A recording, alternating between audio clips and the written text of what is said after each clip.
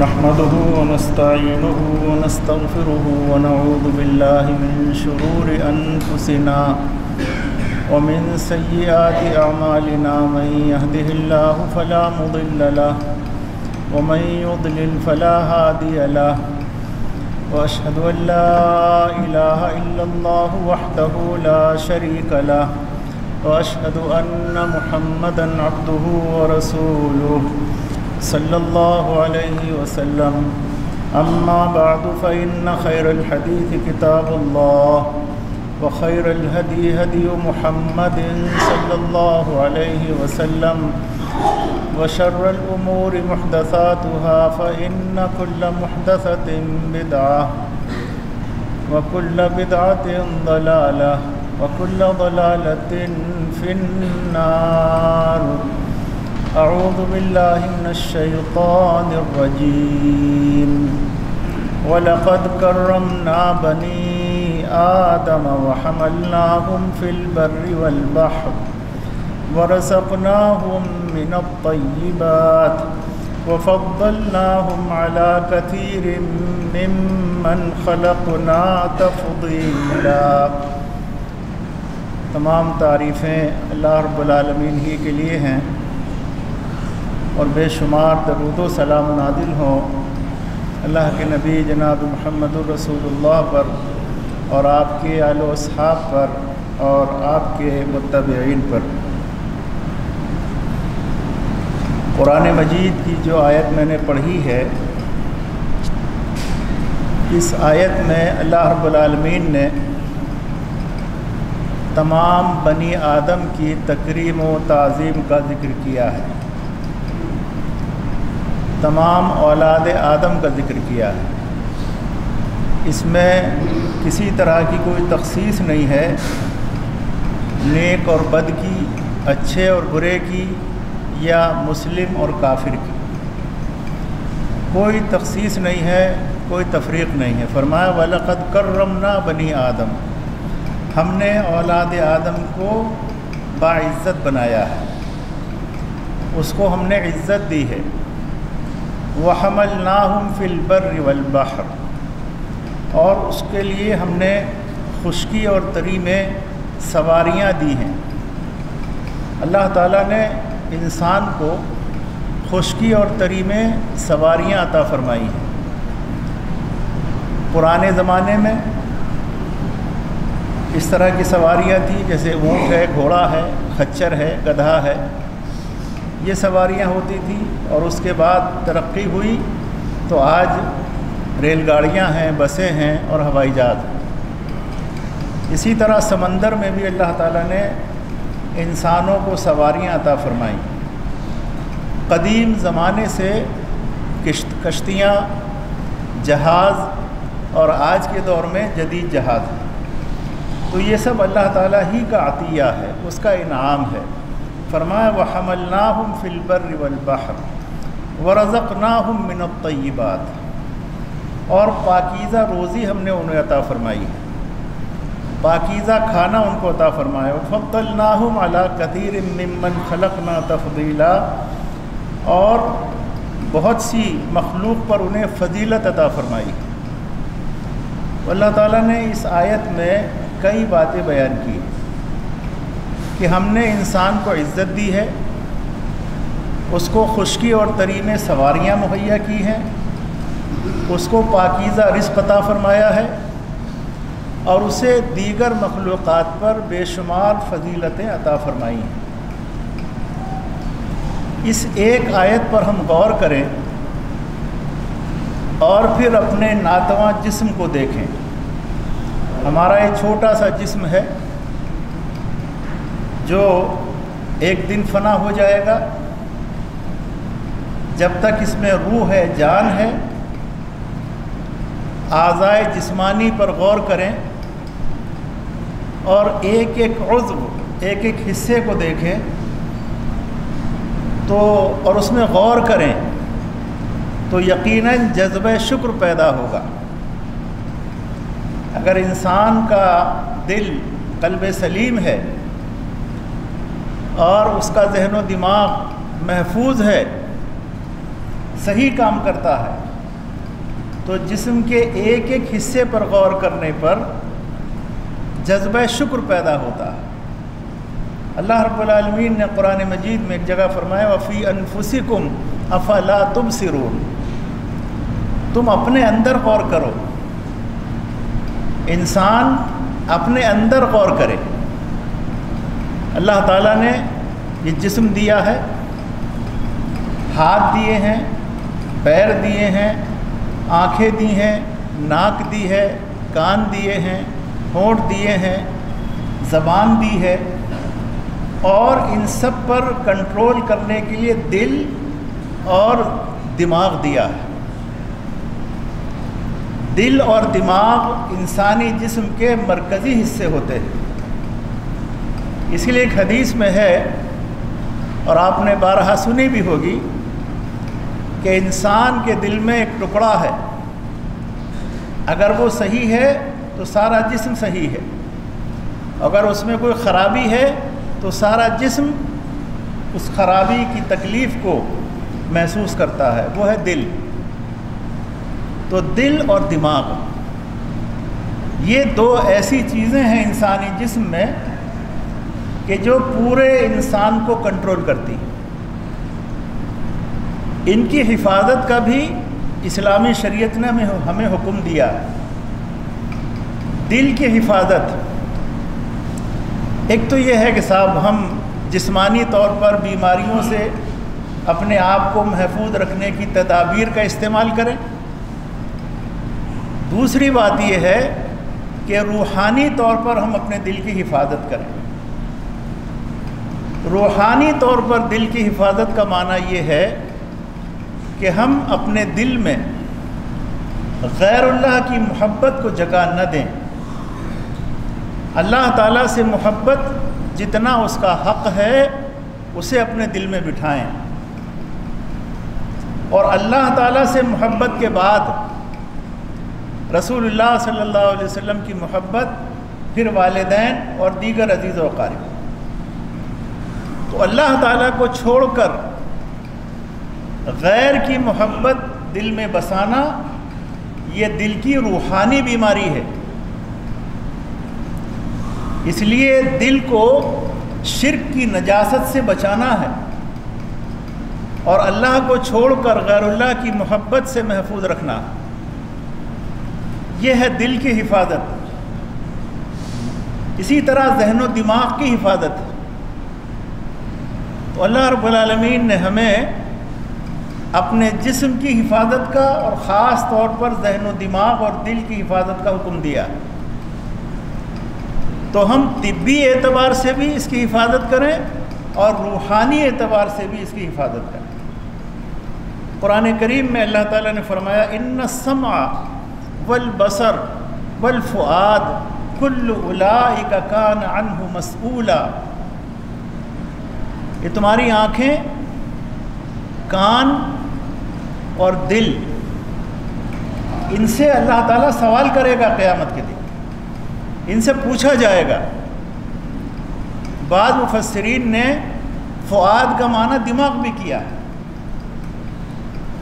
تو آنکھوں سے، کانوں سے اور دل اور دماغ سے قیامت کے دن سوالات ہوں گے، پوچھا جائے گا۔ کیا معنی ہے اس کا؟ کہ ہمارے کان غلط استعمال نہ ہو، ہم ان کی حفاظت کریں۔ ہماری آنکھوں کا غلط استعمال نہ ہو، ان کی حفاظت کریں۔ دل اور دماغ کا غلط استعمال نہ ہو، ان کی حفاظت کریں۔ اللہ رب العالمین نے قرآن مجید میں ایک جگہ فرمایا، یا ایوہ الذین آمنوا، انما الخمر والمیسر والانصاب والازلام رجس من عمل الشیطان فاجتنبوه لعلکم تفلحون. مسلمانوں، خمر. خمر کہتے ہیں شراب کو. جوا. پانسے کے تیر جو فال نکالنے کے لیے استعمال ہوتے ہیں. اور ایسے مقامات جہاں غیر اللہ کی عبادت ہوتی ہے، جنہیں تھان کہتے ہیں۔ ان سے اجتناب کرو، بچو۔ یہ ناپاک ہیں۔ رجسم من عمل الشیطان۔ یہ ناپاک ہیں اور یہ شیطانی کام ہے فج تنبو ان سے بچو، لعلکم تفلحون، تاکہ کامیاب ہو سکو۔ اس آیت میں اللہ تعالیٰ نے خمر کا ذکر کیا، جو ہماری زبان میں شراب کہلاتی جوئے کا ذکر کیا، فال کے تیروں کا ذکر کیا، اور چوتھی چیز ہے وہ مقامات جہاں غیر اللہ کی عبادت ہوتی ہے۔ ان کا ذکر کیا، چار چیزوں کا ذکر کر کے فرمایا رج سم من عمل الشیطان۔ یہ ناپاک ہیں، گندے ہیں اور شیطانی عمل ہے۔ فج تنبو ان سے بچو، دور رہو۔ لعلکم تفلحون، تاکہ تم کامیاب ہو سکو۔ سب سے پہلی چیز اس آیت میں جو کہی گئی ہے، وہ ہے خمر، شراب۔ جو انسان کے عقل و ذہن کو خراب کرتی ہے۔ دماغ کو متاثر کرتی ہے، انسان کو بے ہوش کرتی ہے اور اس سے ایسے کاموں کا صدور کراتی ہے جسے اسلامی شریعت میں حرام و ناجائز کہا گیا۔ اللہ تعالیٰ نے اس سے بچنے کا حکم دیا۔ یہ وہ آیت ہے جس میں قطعی طور پر، حتمی طور پر شراب کو حرام قرار دینے کا اعلان کیا گیا۔ ہے اس سے پہلے شراب کے بارے مرحلے بار آیات آئی ہیں۔ لیکن اس آیت میں اللہ تعالیٰ نے قطعی طور پر شراب کو قیامت تک کے لیے حرام قرار دیا۔ جوئے کو قیامت تک کے لیے حرام قرار دیا۔ اور اسی طرح فال کے تیروں کو حرام قرار دیا۔ اور ان مقامات پر کسی بھی طرح تقرب حاصل کرنے کے لیے جانا۔ جہاں غیر اللہ کی عبادت ہوتی ہے، ان کو حرام قرار دیا۔ ان کو نجس اور گندہ قرار دیا، شیطانی کام قرار دیا۔ اب شراب کی مختلف قسمیں ہیں۔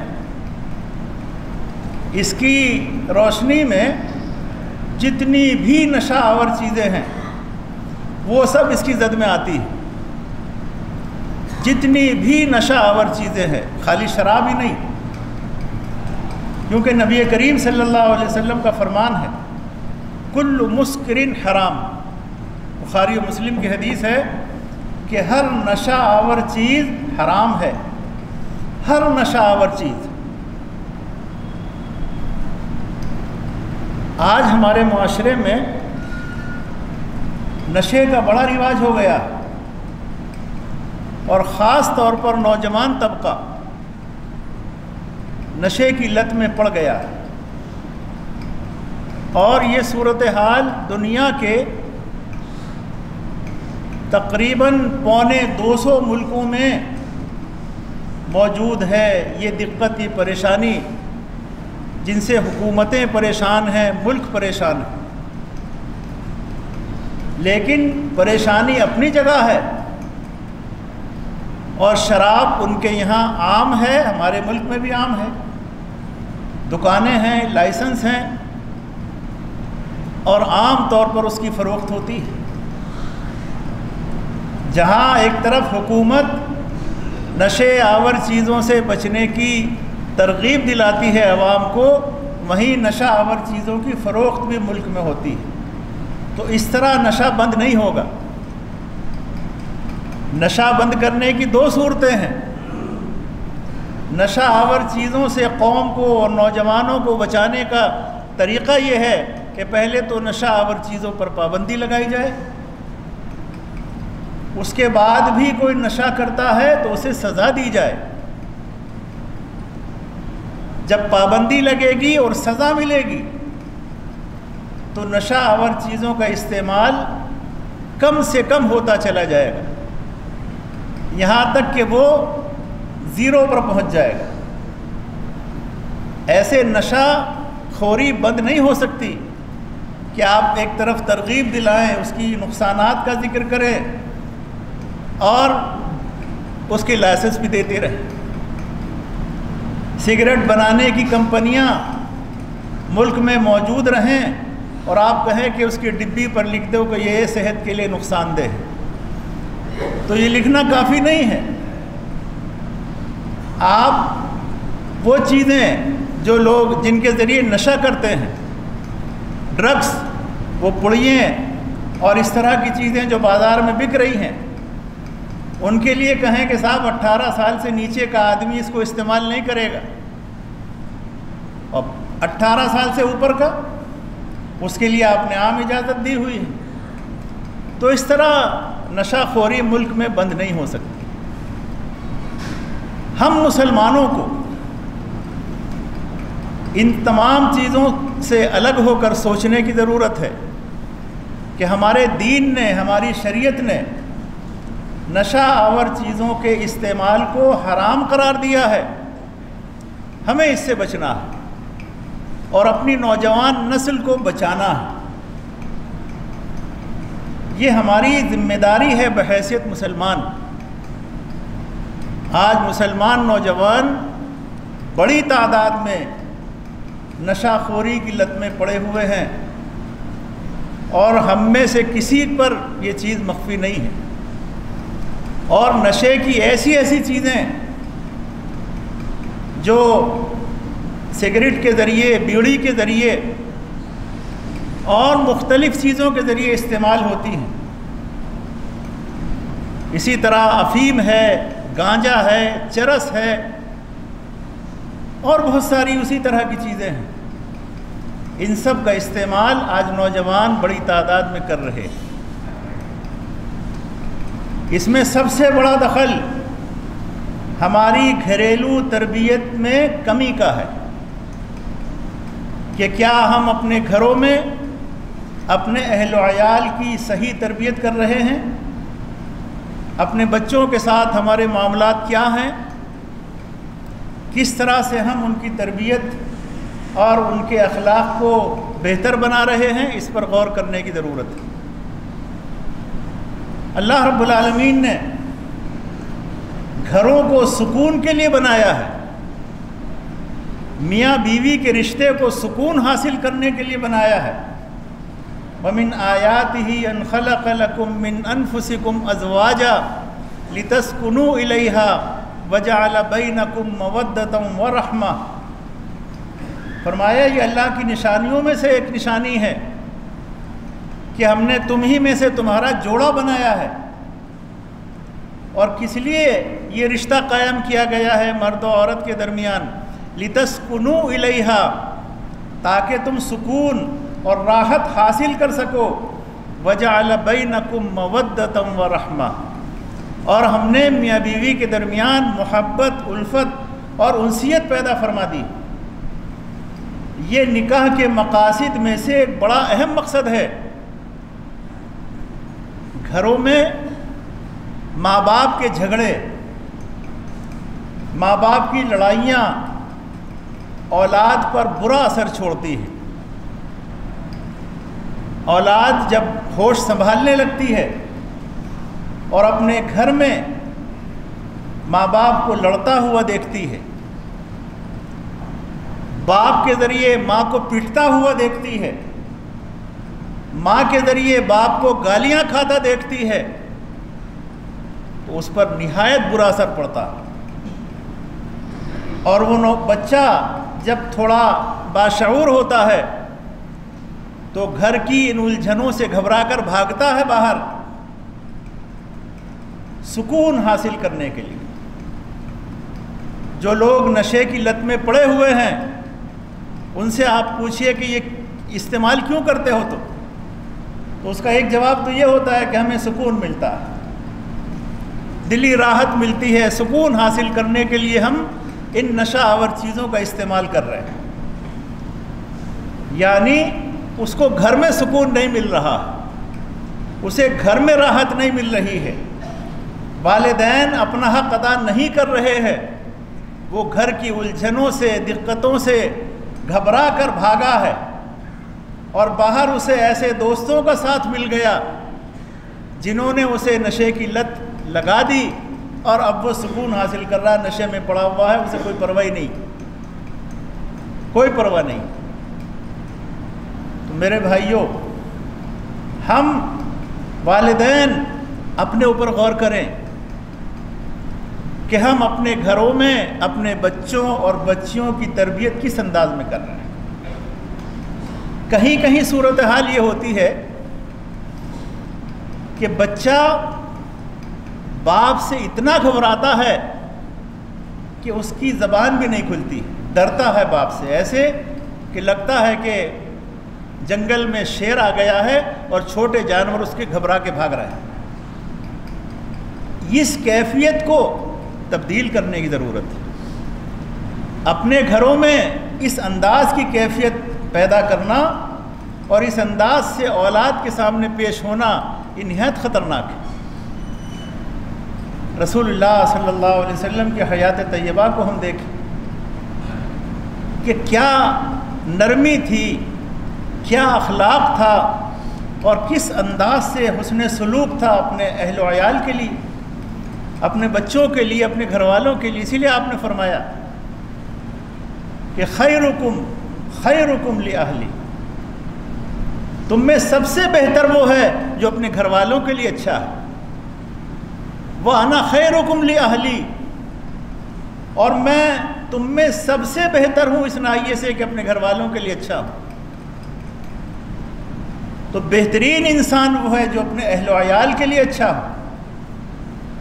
تو ہمیں اپنے گھروں میں بیجا سختی اور بد اخلاقی کا استعمال نہیں کرنا چاہیے۔ ہمیں اگر اپنی اولاد کو سدھارنا ہے تو پہلے خود سدھرنا پڑے گا۔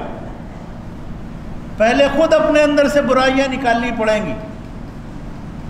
ہم گھروں میں بلا تکلف بیڑی سگریٹ کا استعمال کرتے ہیں۔ ہمارے بچے ہمیں دیکھ رہے ہیں۔ یہ اولاد کے ساتھ دشمنی ہے۔ آپ نے محلے اور خاندان کے بڑے لوگوں سے تو چھپا لیا سگریٹ کو۔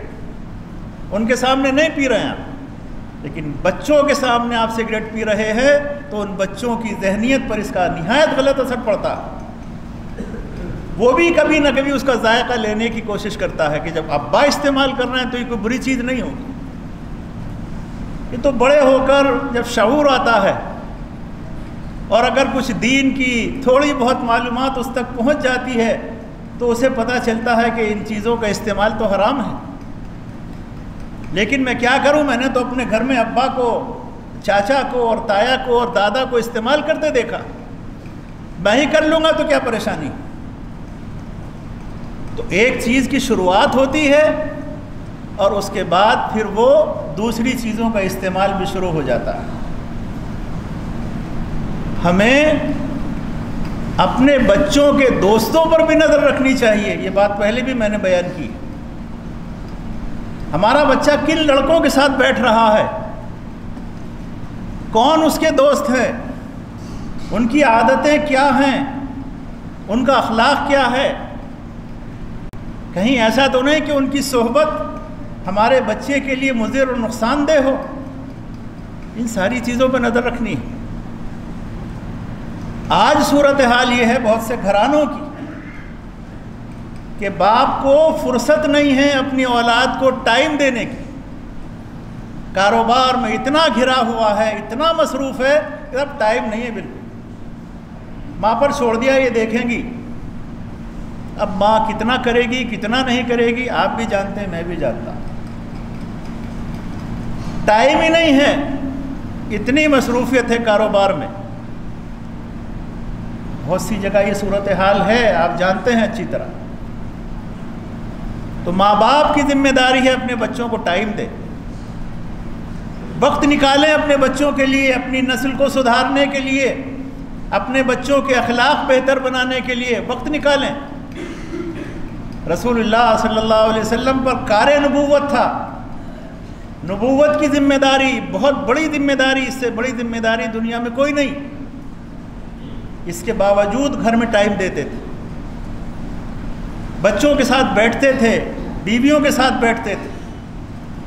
حضرت عبداللہ بن عباس رضی اللہ تعالیٰ عنہ نبی کریم صلی اللہ علیہ وسلم کے گھر میں کبھی کبھی رات گزارتے تھے۔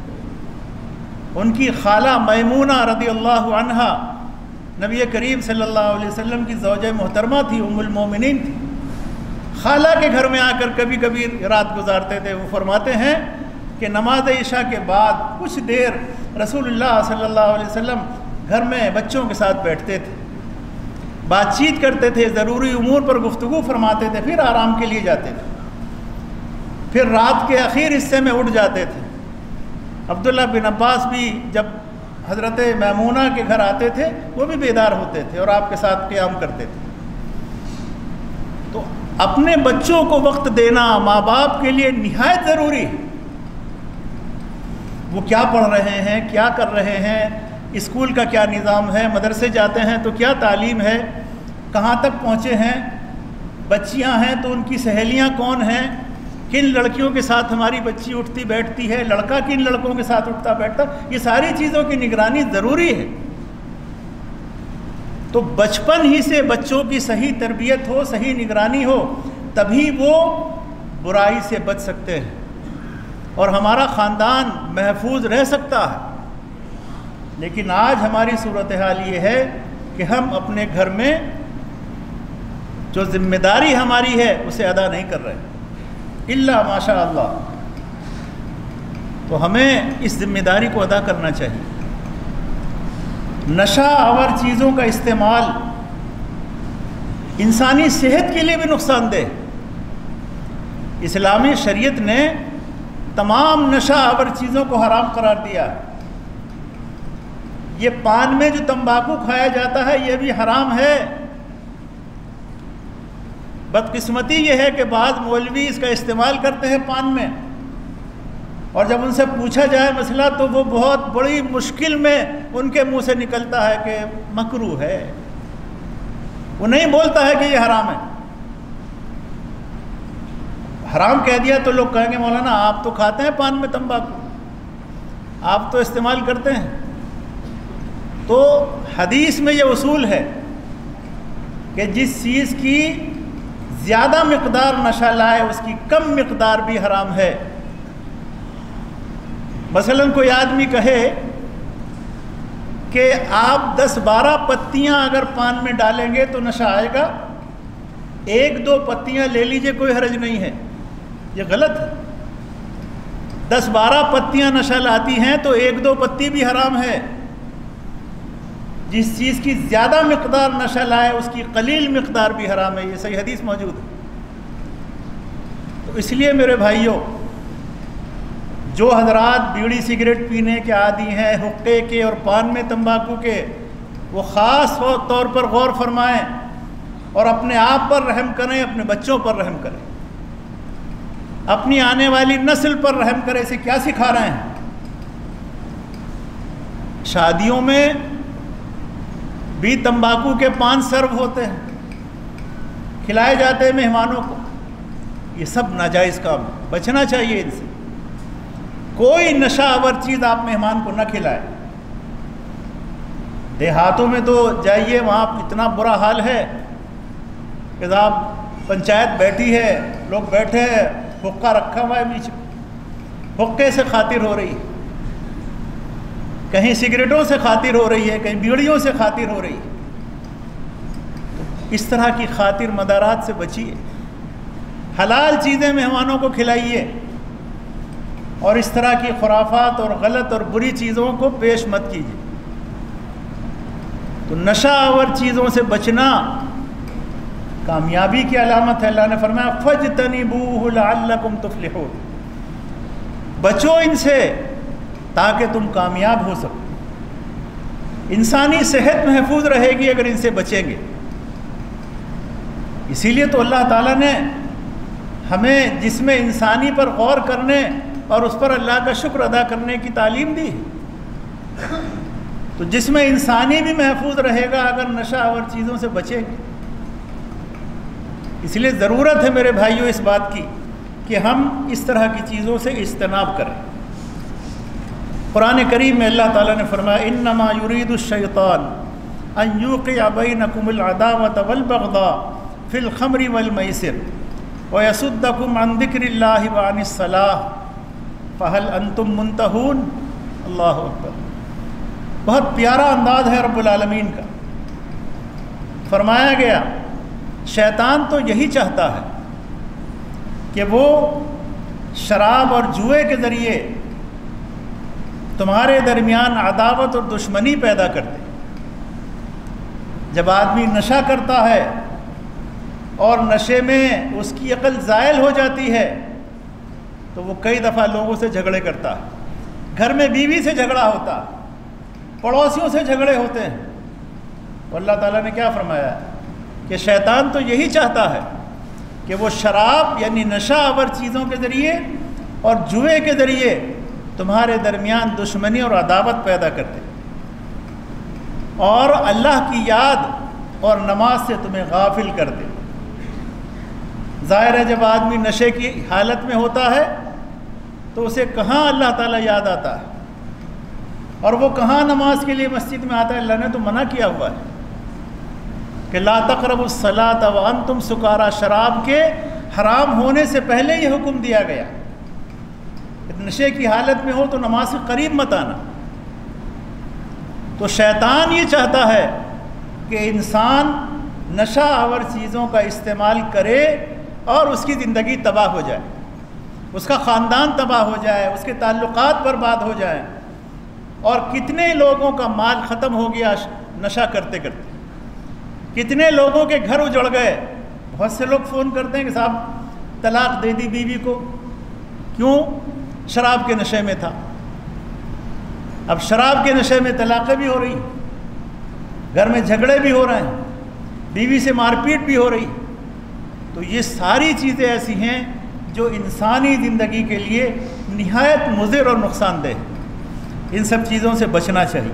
اللہ تعالیٰ فرماتا ہے فہل ان تم منتہون نشہ آور چیزوں کی اور جوے کی خرابیوں کو بیان کر کے اللہ فرماتا فہل ان تم منتہون بس کیا تم بعض آنے والے ہو؟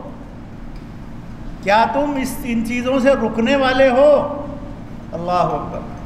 صحابہ نے بیک زبان کہا تھا انتہائی نا ربنا۔ اے ہمارے رب ہم ان تمام برائیوں سے باز آئے، ہم ان سے رک گئے۔ یہ ہے ایمان، یہ ہے اسلام۔ کہ اللہ کا حکم ہے ہم اس سے رکتے ہیں۔ اللہ نے فرمایا ہے، ہم اس کے قریب نہیں جائیں گے۔ رسول اللہ صلی اللہ علیہ وسلم کا امر اور حکم آ گیا ہے کہ فلاں چیز سے بچو، اب ہم اس سے بچیں گے۔ حکم آ گیا کہ فلاں چیز پر عمل کرو، اب ہم اس پر عمل کریں گے۔ یہ ہے ایمان، یہ ہے اسلام، اور یہ ہے مومن کی نشانی۔ تو اس لیے میرے بھائیوں، اللہ تعالیٰ سے دعا کریں کہ اللہ ہم سب پر رحم فرمائے۔ ہمیں اپنے بچوں کے حقوق ادا کرنے اور ان کی صحیح تربیت کی توفیق عطا فرمائے۔ اور تمام نوجوانوں کو اور تمام لوگوں کو اللہ نشہ اور چیزوں سے بچنے کی توفیق عطا فرمائے۔ اقول قولی هذا واستغفر الله لي ولكم ولسائر المسلمين فاستغفروه انه هو الغفور الرحيم